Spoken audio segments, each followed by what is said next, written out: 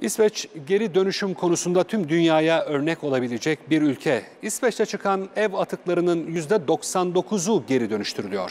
Ev atıkları ısınma ve elektrik üretiminde de kullanılıyor. İsveçliler çevre duyarlılık, duyarlılıklarıyla, hassasiyetleriyle herkesi imrendiriyorlar. Üstelik İsveç hükümeti şimdi sıfır çöp hedefiyle yeni projeler geliştirmeye çağırıyor. İsveç, çevreyle en fazla dost olan ülkelerden biri. Bunun en net göstergesi çöpler. Ülkedeki ev atıklarının %99'u geri dönüştürülüyor. Bu başarıya İsveç halkının katkısı büyük.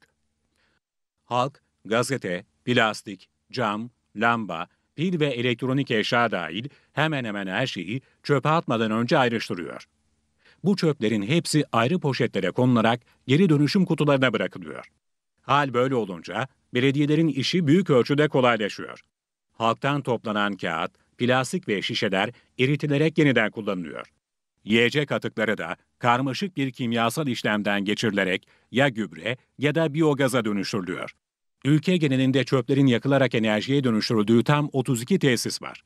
Bu tesislerin ürettiği enerji 810 bin evin ısınmasında ve 250 bin evin elektrik ihtiyacının karşılanmasında kullanılıyor. Hatta İsveç bu tesislerini işletebilmek için diğer ülkelerden çöp kabul etmeye başladı. Ülke dışından gelen 700 bin ton çöp bu tesislerde yakılarak enerjiye dönüştürülüyor.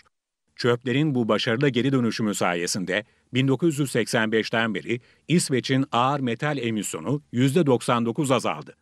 Hükümet bir yandan geri dönüşüm çalışmalarını yoğunlaştırırken bir yandan da halkı daha az çöp çıkarmaya teşvik ediyor. Firmalara daha dayanıklı ürünler piyasaya sürmeleri için baskı uygulanıyor.